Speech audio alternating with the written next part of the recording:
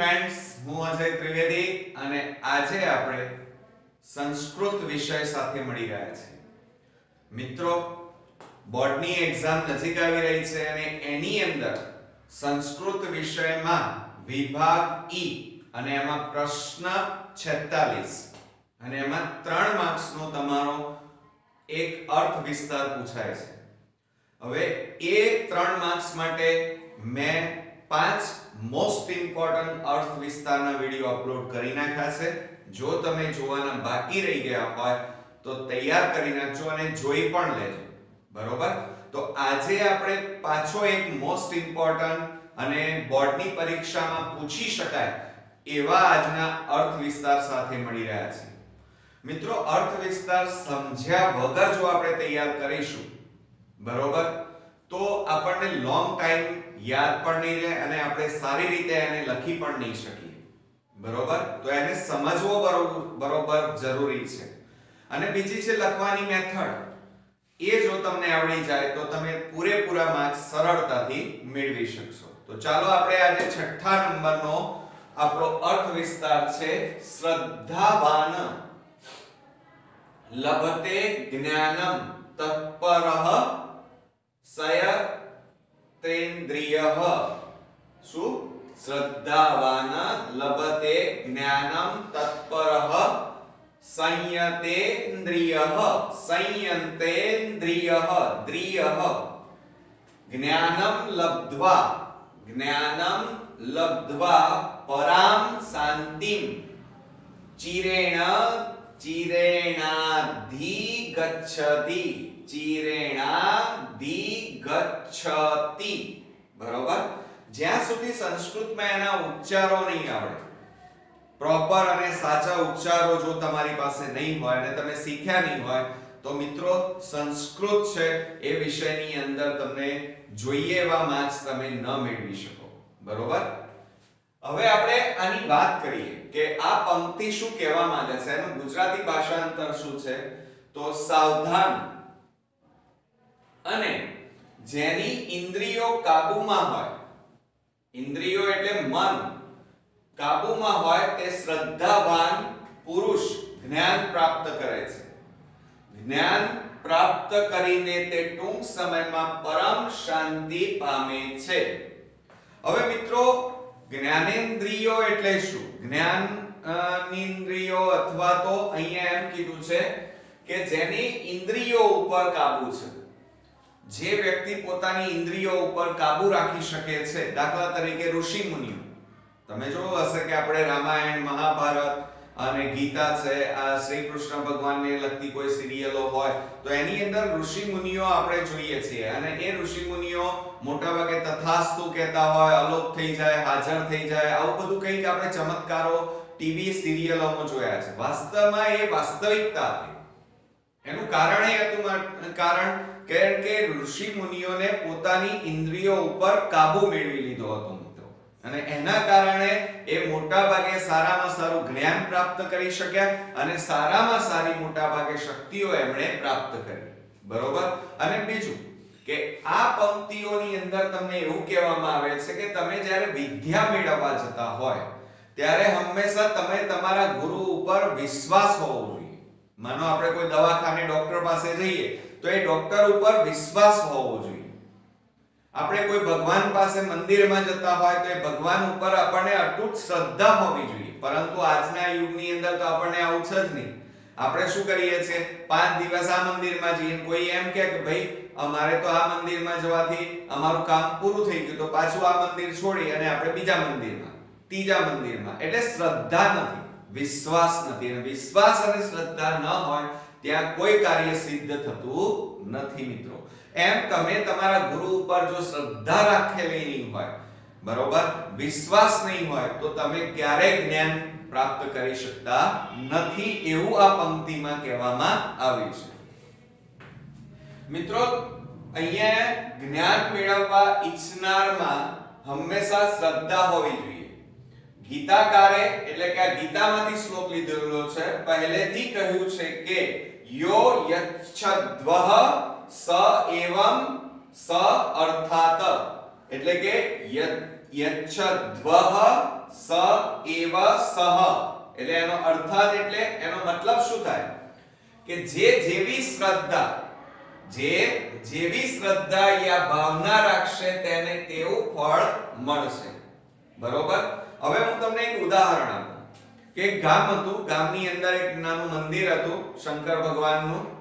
અને લોકો બધા રોજે રોજ મંદિરે જતા, દૂધ ચડાવતા, પાણી ચડાવતા, યથાશક્તિ, ભક્તિ, ભાવ કરતા. બરોબર? પરંતુ તમે ક્યારે તમને ભગવાન પ્રસન્ન થતા જોયો છે? ના. રોજ લોકો 500 લીટર 2 લીટર દૂધ ચડાવતા. બરોબર? ક્યારે એમને ભગવાન પ્રાપ્ત થયો નહીં. પરંતુ એક દિવસ રાતે એવું થયું કે એક ચોર હતો અને ચોરી કરવા માટે ગામમાં ગયો ગામમાં ગયો, એને ક્યાંય ચોરી કરી અને ધન સંપત્તિ મળી નહીં. ખાલી હાથે રાતે પાછો આવ્યો અને મંદિરે આવી અને ત્યાં ઓટલા ઉપર બેઠો અને નિરાશ હતો. નિરાશ હતો કેમ? કારણ કે આજે રાતે એને કશું મળ્યું જ નહીં. એટલા માટે એના છોકરા ઘરના લોકો ભૂખે મરશે. કારણ કે રોજે રોજ કમાઈને ખાવાનું હતું એને, એટલે કે ચોરી કરીને ખાતો હતો. એનો ઘરવાળાનું ભરણ પોષણ થતું હતું, પણ એ દિવસે એને કશું ના મળ્યું એ રાતે. એટલે એ મંદિરે આવીને બેઠો.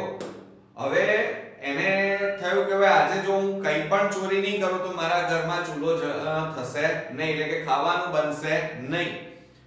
તો એની નજર બેઠા બેઠા બધા વિચારો કરતો હતો, એવામાં એની નજર ક્યાં પડી? મંદિરની અંદર શંકર ભગવાનના મંદિરની ઉપર જે જળાધારી હોય, જે પાણી પડતું હોય, એના ઉપર પડી. બરોબર? હવે એને થયું કે હવે મારી પાસે બીજું તો કશું છે નહીં, તો હવે લાવ, આજે જળાધારી હું લઈ જઉં ઘરે. હવે જે ભગવાનનું શિવલિંગ હતું, એની ઉપર જળાધારી ખૂબ ઊંચે હતી. હવે ચોર ત્યાં ચોરી કરવા તો ગયો, પરંતુ એ પહોંચાતો નહોતો. હવે થાય શું? એટલે પછી એને આજુબાજુ જોયું, કઈ ટેબલ બેબલ મળ્યું નહીં. એટલે સીધે સીધું શું કર્યું એને સીધો ભગવાનના શિવલિંગ ઉપર પગ મૂકી અને જળાધારી પકડી લીધી. જેવું એને શિવલિંગ ઉપર પગ મૂક્યો, હવે એને ખબર નહોતી કે અહીંયા પગ ન મુકાય એ અજ્ઞાની હતો. તો જેવી એને પગ ઉપર શિવ શિવલિંગ ઉપર પગ મૂકી અને ચડવા ગયો, તરત જ શંકર ભગવાન ત્યાં પ્રકાશ થઈ ગયો અને ભગવાન પ્રગટ થઈ ગયા. અને ભગવાને કીધું, માગ માગ, હું તારા જોડે આવ્યો છું. એટલે એ ચમત્કાર થઈ ગયો. એટલે પેલો ચોર હતો એ કગરી પડ્યો ભગવાન, મેં તો તમને બોલાયા નથી.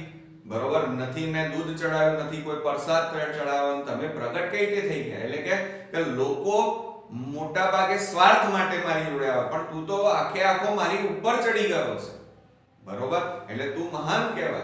એટલે માગ તું માગે આપું. એટલે મિત્રો, કહેવાનો મતલબ એ છે કે શ્રદ્ધા હોવી ખાસ જરૂરી છે. જ્યાં શ્રદ્ધા નથી, ત્યાં કોઈ કાર્ય સિદ્ધ થતું નથી.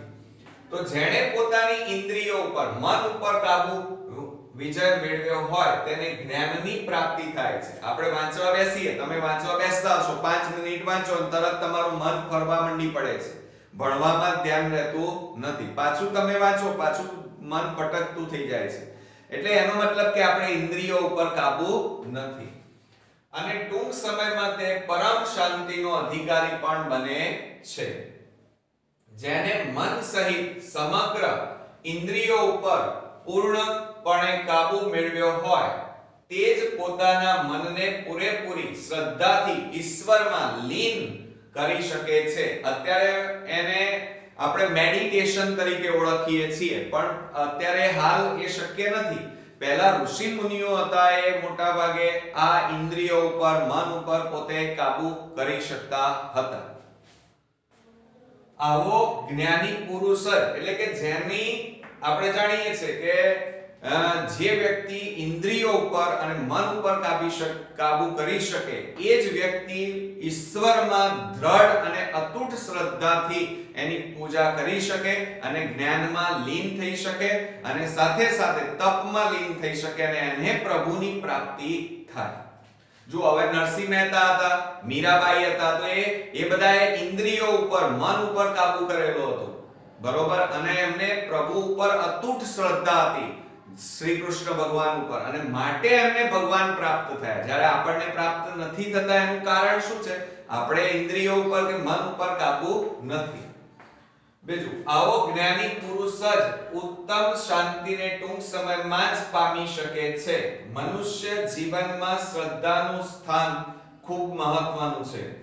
પોતાની જાત પર ભરોસો રાખીને ઈચ્છિત લક્ષ્ય મેળવવા માટે કાર્ય કરવામાં આવે, તો તે લક્ષ્ય જરૂર સફળ થાય છે. કોઈ પણ વિષય કે વિદ્યા શીખવા માટે શ્રદ્ધા હોવી જરૂરી છે. હંમેશા આપણે બોર્ડની અંદર તમારી વાત કરીએ તો બોર્ડમાં મારે 90% લાવવા છે, બરોબર? અને હું લાવી શકીશ, હું સક્ષમ છું એવી પોતાના ઉપર એક અતૂટ શ્રદ્ધા હોવી જોઈએ. અને સાથે સાથે તમારું લક્ષ્ય તમારી સામે હોવું જોઈએ. અને તમે જે ગુરુ પાસે શિક્ષા મેળવતા હોય, એના ઉપર પણ તમને શ્રદ્ધા હોવી જોઈએ, તો તમે તમારા લક્ષ્ય સુધી પહોંચી શકો. દાખલા તરીકે આપણે એકલવ્યનું ઉદાહરણ લઈએ. તો એકલવ્યને એના ગુરુ ઉપર અતૂટ શ્રદ્ધા હતી. એણે શું કર્યું હતું? ફક્ત એમની મૂર્તિ બનાવી અને એની પૂજા કરતો હતો અને પછી એ પોતે ધનુર વિદ્યા જાતે શીખતો હતો. પણ એના ગુરુમાં એને અટૂટ શ્રદ્ધા હતી કે મારા ગુરુ પાસેથી હું મને આ જ્ઞાન મળશે અને જેના કારણે શ્રેષ્ઠ સારામાં સારો ધનુર્ધર બની શક્યો. શ્રદ્ધાના સહારે જ કાર્યોને સિદ્ધ કરી શકાય છે. જ્ઞાન પ્રાપ્તિના ધ્યેયને પહોંચી વળવા માટે ગુરુમાં શ્રદ્ધા હોવી આવશ્યક છે, મિત્રો.